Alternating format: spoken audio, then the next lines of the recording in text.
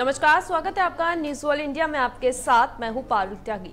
राजस्थान के जालौर में गुरुवार को बाड़मेर हाईवे पर स्पेशल एयर स्ट्रिप की शुरुआत की गई। बता दें कि इस मौके पर पाकिस्तान से सटी सीमा पर सुखोई और जगुआर जैसे वायुसेना के लड़ाकू विमानों ने यहाँ पर अपना दम दिखाया और हाईवे पर लैंडिंग की और इस दौरान केंद्रीय मंत्री नितिन गडकरी, रक्षा मंत्री राजनाथ सिंह भी मौजूद रहे।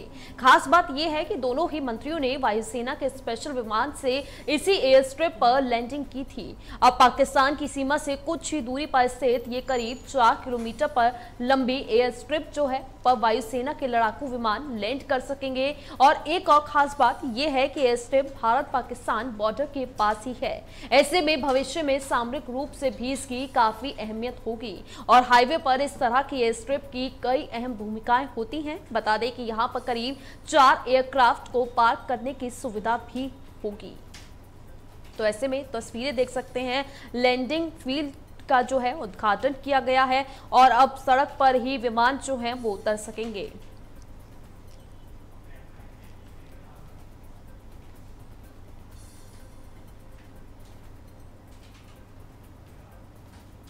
कांग्रेस के पूर्व अध्यक्ष और सांसद राहुल गांधी गुरुवार को जम्मू पहुँचे हैं। बता दें, जहाँ राहुल गांधी, माता वैष्णो देवी मंदिर में दर्शन करने वाले हैं और फिर यहाँ पर ही रुकेंगे और इसके बाद राहुल गांधी जम्मू कश्मीर के कांग्रेस कार्यकर्ताओं के साथ मुलाकात भी करेंगे। आपको बता दें कि पिछले कुछ वक्त में कांग्रेस सांसद राहुल गांधी का मंदिरों में जाना चर्चा का विषय बना हुआ था। ऐसे में गुजरात चुनाव के दौरान भी शुरू हुआ यह सिलसिला लगातार जारी है। वहीं गुजरात का सोमनाथ मंदिर हो या फिर कई अलग अलग मंदिर। तब राहुल गांधी ने चुनाव के इस दौरान इनका दौरा किया था। अभी हाल ही में राहुल गांधी ने अपने जम्मू कश्मीर दौरे के दौरान भी खीर भवानी मंदिर का भी दौरा किया था और वहाँ पर माथा भी टेका था। ऐसे में राहुल गांधी से इतर कांग्रेस महासचिव प्रियंका गांधी वाड्रा भी अपने राजनीतिक दौरे से इतर मंदिर में माथा टेकती नज़र आई थी। असम चुनाव के दौरान भी कामाख्या देवी मंदिर हो या फिर उत्तर प्रदेश के दौरे के वक्त वाराणसी का काशी विश्वनाथ मंदिर हो या बता दें कि और मंदिर हो, यहाँ पर प्रियंका गांधी वाड्रा ने भी इन जगहों पर मत्था टेका था और अब राहुल गांधी जम्मू में माता वैष्णो देवी के दर्शन करने के लिए पहुँच चुके हैं। तो तस्वीरें देख सकते हैं राहुल गांधी जिस तरह से जब जम्मू पहुँचे तो स्वागत जो है उनका फूलों से किया गया। लोगों में उत्साह जो था वो काफ़ी दिखाई दिया। कार्यकर्ता जो थे, वहाँ पर भारी संख्या में उनके स्वागत के लिए पहुँचे हुए थे।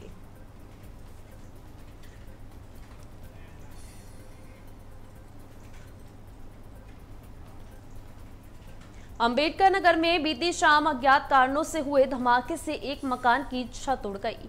जानकारी के मुताबिक ये धमाका ज़िले के भीटी थाना क्षेत्र के ग्राम खोटिया निवासी अब्दुल जफ्फार के घर पर हुआ और ये धमाका इतना जोरदार था कि इसकी आवाज़ कई किलोमीटर दूर तक सुनाई दी। वहीं इस मामले में बता दें, रात को ही साजिश रचने की आशंका जो है वो जताई जा रही है और ऐसे में संदिग्ध धमाके में एक महिला गंभीर रूप से घायल हो गई है, जिस अस्पताल में भर्ती करा दिया गया है। वहीं गाँव के रिहायशी इलाके के बीचों बीच हुए इस धमाके से आसपास के इलाके में दहशत का माहौल बन गया है। वहीं पुलिस के मुताबिक ये घटना पटाखों के फटने से हुई। फ़िलहाल पुलिस मामलों की जाँच पड़ताल जो है वो कर रही है। तो अंबेडकर नगर का पूरा मामला है, जहाँ पर बता दें कई किलोमीटर तक इस धमाके की आवाज़ सुनाई थी और अज्ञात कारणों से हुए धमाके में मकान की छत उड़ गई, जिसकी वजह से एक महिला जो है वो घायल हो गई है।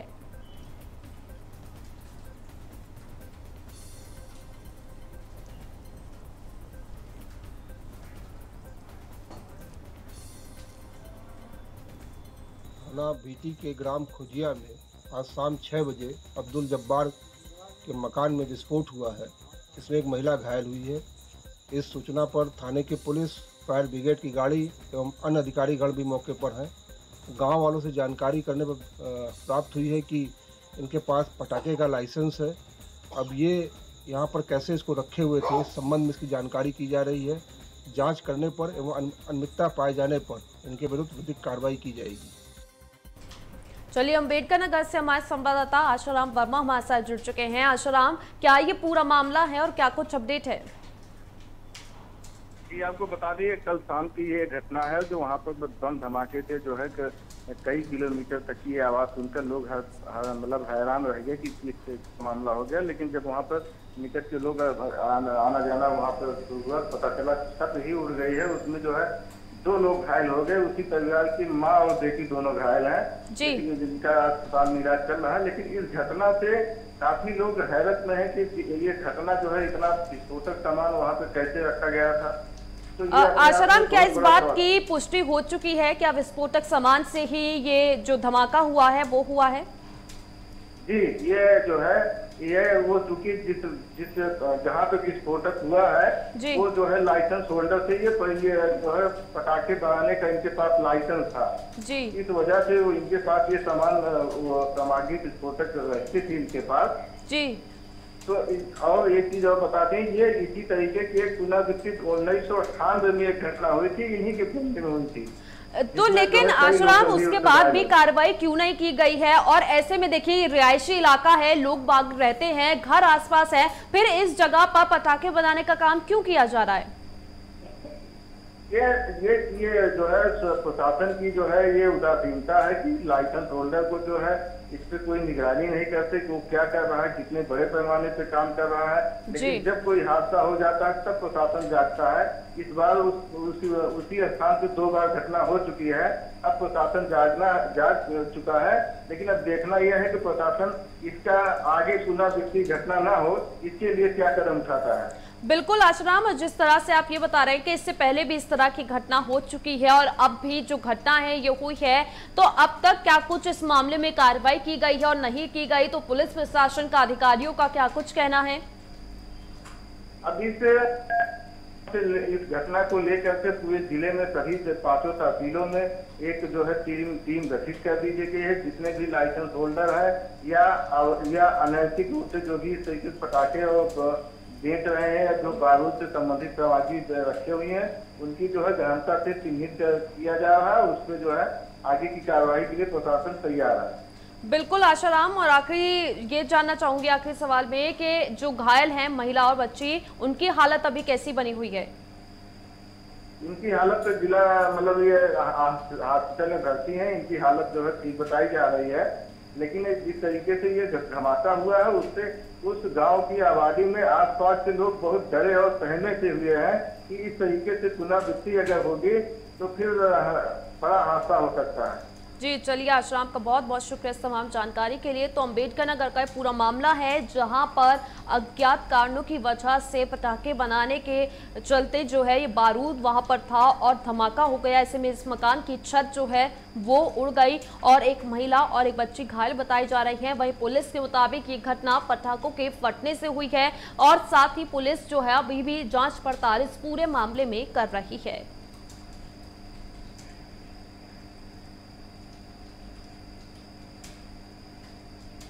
फतेहपुर के हथगांव थाना के मोहम्मदपुर गाँव में उस वक्त हड़कम मच गया जब बकरी चराने गए दो मासूम तालाब में डूब गए, जिसके बाद जैसे तैसे ग्रामीणों ने एक मासूम की जान तो बचा ली, जबकि दूसरे मासूम की तालाब में डूबने से मौत हो गई। वहीं ग्रामीणों की सूचना पर मौके पर पहुँची पुलिस ने मासूम के शव को पोस्टमार्टम के लिए भेज दिया है। तो फतेहपुर की ये पूरी घटना है, जहाँ पर दो मासूम बकरी चलाने के लिए गए थे, लेकिन उसी दौरान दोनों मासूम तालाब में डूब गए। एक को तो ग्रामीणों ने सूझबूझ से बचा लिया, लेकिन दूसरे को बचा नहीं पाए, जिसकी वजह से डूबने से उसकी मौत हो गई।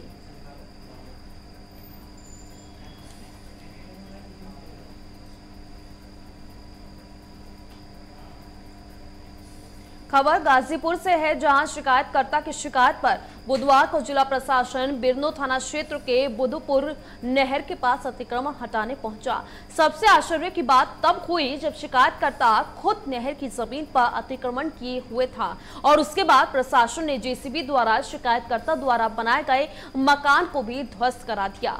इस दौरान कई थानों की पोस्ट सुरक्षा व्यवस्था के साथ मौजूद रही। बता दें कि शिकायतकर्ता बुधुपुर निवासी चंदन यादव ने ज़िले के अधिकारियों सहित मुख्यमंत्री पोर्टल पर भी शिकायत की थी कि नहर के पास लोग अतिक्रमण जो है उन्होंने किया हुआ है, जिसके बाद प्राप्त शिकायत पर बुधवार को जिला प्रशासन पुलिस बल के साथ अतिक्रमण हटाने वहाँ पर पहुँचे थे।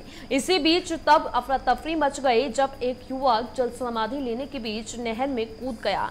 युवक का कहना था कि शिकायतकर्ता द्वारा खुद नहर की ज़मीन अतिक्रमण कर मकान बनवाया गया है और अगर प्रशासन शिकायतकर्ता से ज़मीन अतिक्रमण मुक्त नहीं करवाता है तो वो जल समाधि ले लेगा। इसी दौरान एक अन्य युवक भी नहर में कूद गया जिसके बाद आनंद फानन में लोगों ने युवकों को बाहर निकाल लिया। फ़िलहाल प्रशासन की इस अतिक्रमण हटाने की कार्रवाई जो है वो लगातार जारी है। सर क्या बोलते हैं उसको? नहीं नहीं नहीं नहीं अतिक्रमण का मामला है। जब अगर अभी आप देखे हैं कि नहर में कूद गए हाँ, थे किस बात को लेके? 27 फीट उधर से है सर तो नहर के मध्य से भी इधर भी 27 फीट होना चाहिए। नहीं होना चाहिए। क्या कारण हुआ है कि आप जल समाधि लेने चले हैं? मेरी बात जो है तहसीलदार साहब नहीं मान रहे कि नहीं मैं यही सत्ताईस मानूँगा। ये कैसे होता है? यहाँ पच्चीस है यहाँ बीस है। यहाँ भी तो सत्ताईस नहर के मध्य से होना चाहिए ना।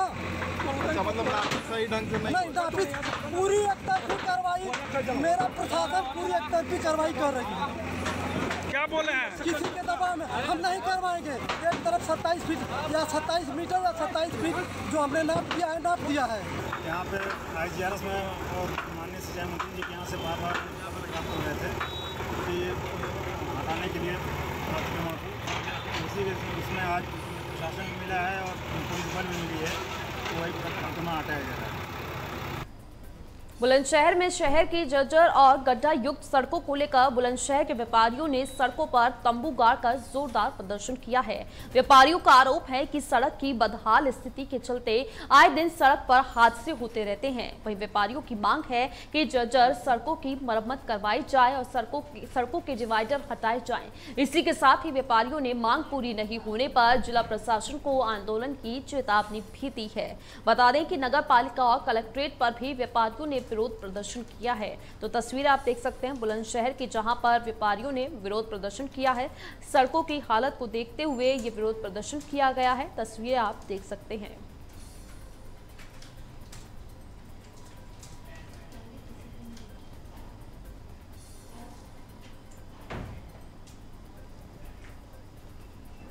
पहाड़ों पर लगातार हो रही बारिश के चलते छात्रों का स्कूल जाना मुश्किल हो गया है। जहाँ बीती रात तेज बारिश से नदी का पानी अचानक सड़कों पर उतर आया और सड़क नदी में तब्दील हो गई, जिसके बाद स्कूल जा रही छात्राएँ घंटों तक सड़क पर खड़े रहीं और पानी कम होने का इंतज़ार करती रहीं। लेकिन सड़क पर पानी का जलस्तर कम नहीं हुआ, जिसके बाद छात्रों को वापस अपने घर ही लौटना पड़ा। वहीं किसानों की माने तो आए दिन पानी आने से किसानों की फ़सल चौपट हो चुकी है। साथ ही किसान और राहगीर जान जोखिम में डालकर सड़कों को पार करने के लिए मजबूर हैं। वहीं ज़िले के अफजलगढ़, बनेरी, शाहपुर, जमाल इलाके का ये पूरा मामला बताया जा रहा है।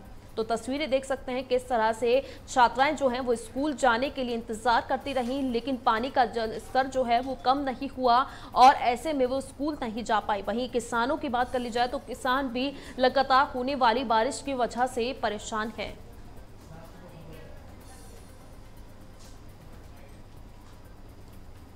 बनेरी नदी है यहाँ पे जो है दिक्कत हो जाती है लोगों को आने जाने में। और जो स्कूल के बच्चे हैं वो आते जाते हैं तो वो भीग जाते हैं जिससे कि काफ़ी समस्या हो जाती है। कितना कितना पानी चलता है?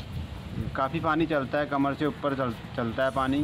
कभी कभी तो इससे ज़्यादा भी हो जाता है और छोटे छोटे बच्चे तो डूब भी जाते हैं इसमें जिन्हें काफ़ी परेशानियाँ होती हैं। माँ बाप जो है बच्चों को अकेले नहीं भेज पाते हैं और उनके साथ आना पड़ता है उनका समय बर्बाद होता है। हम इसमें कहना क्या चाहेंगे, हर वर्ष में ही हम अपनी लखनऊ सरकार तक, विभाग को हर बार सूचना देते रहते हैं, समय समय पर सूचना देते हैं कि ये बंदा क्षतिग्रस्त हो चुका और इस पर भाई कोई कार्य कराएँ। और ये अधिकारियों, संबंधित अधिकारियों द्वारा क्या होता है थोड़ा बहुत काम करा दिया, कुछ उधर करा दिया किसी इधर करा दिया, लेकिन कोई ढंग से काम नहीं हो पाया। लेकिन हमें ये आश्वासन दिया जाता है झूठा आश्वासन कि भाई यहाँ पर तो आपके टाइल लगवा देंगे इसको हाइट बढ़ा देंगे इसको बिल्कुल बढ़िया कर देंगे। ऐसा करा देंगे वैसा लेकिन आज तक यहाँ कुछ नहीं ऐसा नहीं हो पाया। थोड़ी बहुत मिट्टी कार्य होता है लेकिन इससे संतुष्टिजनक कोई कार्य नहीं होता। हर बार हमें धोखा दिया जाता और ये वो जो बंदा है पूरा यहाँ से लगाकर ये मीरापुर पाँच सौ मीटर हाँ पाँच सौ मीटर लगभग पूरा क्षतिग्रस्त हो चुका है जगह जगह पर पानी रिसाव हो रहा है और ये लोग हमें गट्टे लगवाने का आश्वासन दे रहे हैं। अंबेडकर नगर के एसएन इंटर कॉलेज में शिक्षकों ने जमकर धरना प्रदर्शन किया। जानकारी के मुताबिक ये शिक्षक वेतन न मिलने से नाराज़ होकर धरने पर बैठ गए थे। दरअसल शिक्षकों का आरोप है कि पिछले तीन महीने से उन्हें वेतन नहीं दिया गया है, जिसके चलते वो धरने पर बैठे हैं। जानकारी के मुताबिक कॉलेज के प्रबंधन और प्रधानाचार्य के बीच किसी बात को लेकर विवाद चल रहा है, जिसके चलते बीते तीन महीनों से शिक्षकों को उनका वेतन नहीं मिल पा रहा है। ऐसे में ज़िले के इंद्रपुर, आलापुर स्थित एस इंटर कॉलेज का पूरा मामला है। तस्वीरें आप देख सकते हैं किस तरह से तीन महीने से वेतन न मिलने को लेकर शिक्षक जो हैं, वो धरने पर बैठे हैं और क्लासरूम में बच्चे जो हैं, वो शिक्षकों का इंतज़ार करते हुए नज़र आ रहे हैं।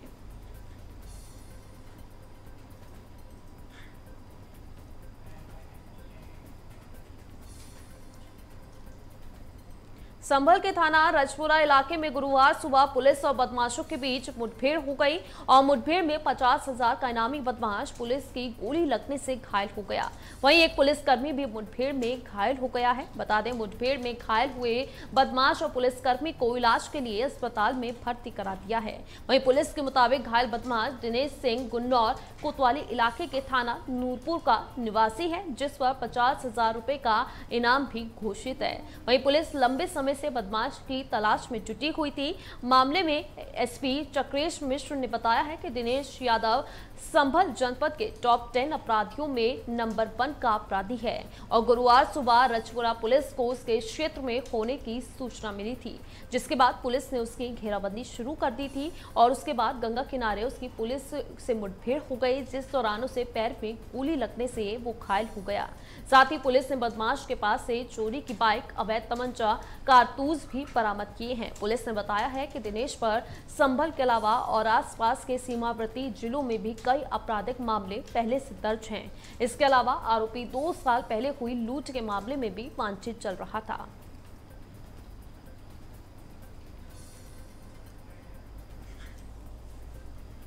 थाना रजपुरा के अंतर्गत ये हरिबाबा बाँध के पास में आज ये एक पुलिस मुठभेड़ हुई है। इसमें दिनेश कुमार, जो पचास हज़ार रुपये का इनामी था, इसके ऊपर डीआईजी साहब द्वारा इनाम घोषित किया गया था।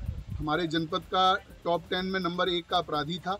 इसको आज एसओजी की टीम और थाना रजपुरा की टीम के द्वारा यहाँ पर चेकिंग लगाई गई थी। ये सूचना मिली थी, इधर से आ रहा है। इसको रोकने का प्रयास किया गया। तो इसके द्वारा पुलिस पर फायरिंग करके भागा। जवाबी फायरिंग में इसके पैर में गोली लगी है। ये घायल है। हमारा एक सिपाही भी घायल है। दोनों को उपचार के लिए अस्पताल भेजा गया है।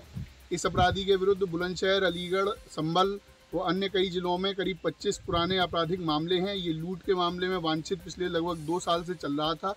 इसकी गिरफ्तारी के लिए काफ़ी प्रयास किए गए थे। एक महीने से टीम इसको खोज रही थी और आज ये इस मुठभेड़ में गिरफ़्तार हुआ है। इसको माननीय न्यायालय भेजा जा रहा है। इसके पास से चोरी की एक मोटरसाइकिल, एक अवैध शस्त्र व चार ज़िंदा कारतूस भी बरामद हुए। सिद्धार्थनगर से स्वास्थ्य विभाग की बड़ी लापरवाही सामने आई है, जहाँ स्वास्थ्य मंत्री के ज़िले में ही स्वास्थ्य विभाग स्वास्थ्य व्यवस्थाओं की धज्जियाँ उड़ाता नज़र आ रहा है। बता दें, खबर शहर के जिला अस्पताल की है, जहाँ इमरजेंसी वार्ड में स्ट्रेचर न मिलने से तीमारदार अपने मरीज़ को उठाकर इलाज के लिए ले जाने के लिए मजबूर है। इसका एक वीडियो भी सोशल मीडिया पर जमकर वायरल हो रहा है। तो सिद्धार्थनगर का पूरा मामला है, ये तस्वीरें भी आप देख सकते हैं, किस तरह से इमरजेंसी वार्ड में स्ट्रेचर जो है, वो नहीं है। जिसके बाद मरीज़ के जो तीमारदार हैं, वही मरीज़ को अपने हाथों में उठाकर ले जाने के लिए मजबूर हैं। हालाँकि अब इसका वीडियो भी जो है, वो सोशल मीडिया पर वायरल हो रहा है। तस्वीरें आप देख सकते हैं।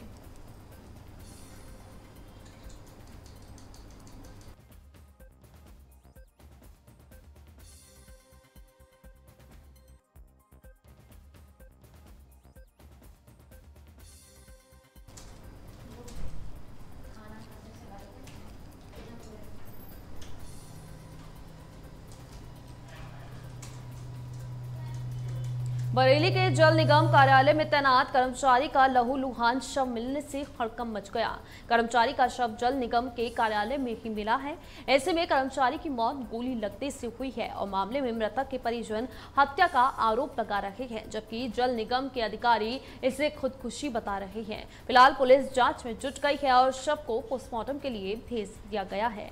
तो बता दें, बरेली का पूरा मामला है, जहाँ पर जल निगम के कर्मचारी का शव मिलने से हड़कम मच गया और ऐसे में शव जो है, वो गोली लगा हुआ मिला है। किसने गोली मारी है, क्या पूरा मामला था इस बात की कोई भी जानकारी नहीं मिली है, लेकिन पुलिस जो है, इस पूरे मामले में छानबीन कर रही है।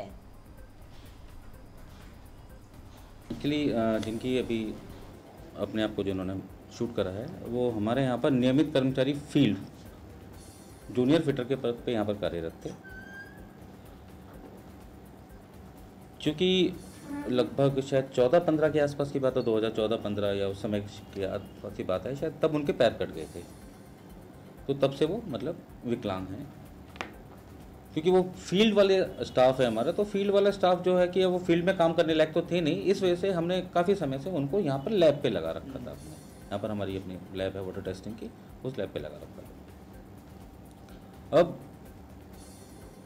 जहाँ तक उनके आने का प्रश्न है कि वो क्यों आए यहाँ पर, ये जैसे मुझे बताया जा रहा है कि मेरे से मिलने आए थे तो ये तो एक लाजमी सी बात है कि भाई यहाँ का मैं मुखिया हूँ तो मेरे से मिलने किसी भी टाइप पे कोई आ सकता है।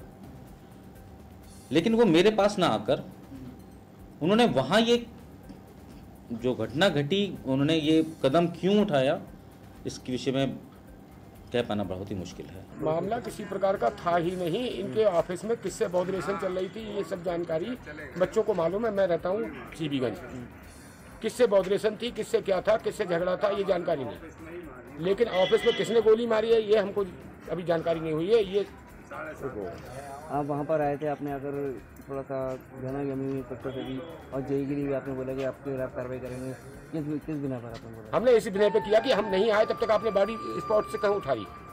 जगह से उठाई क्यों? हमें दिखाओ। इसलिए इंस्पेक्टर से गहमा गहमी हुई। चलिए, ज़्यादा जानकारी के साथ बरेली से हमारे संवाददाता पवन कुमार हमारे साथ जुड़ चुके हैं।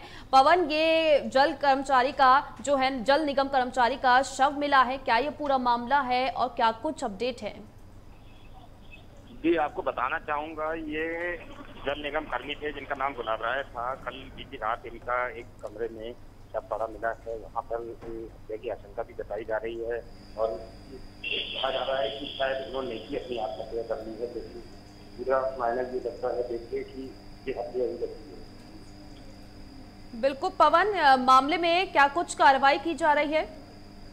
कार्रवाई अब शव को पोस्टमार्टम के लिए भेज दिया गया है। पोस्टमार्टम की कार्रवाई होने के बाद आगे जाँच की कार्रवाई आगे बढ़ाई जाएगी और जिस तरह से कहा जा रहा है कि ये जो थे वो अपने सीधे हाथ से वर्क किया करते थे लेकिन गोली जो है वो इनको बाई तरफ़ लगी है।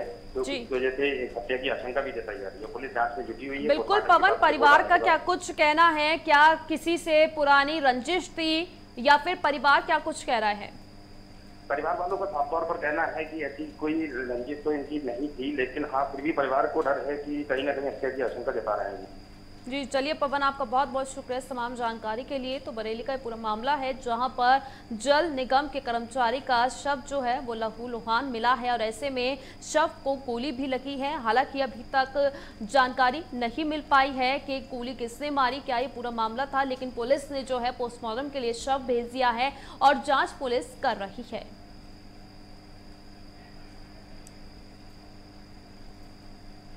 इसी के साथ इस बुलेटिन में फ़िलहाल के लिए इतना ही। आप देखते रहिए न्यूज़ वॉल इंडिया।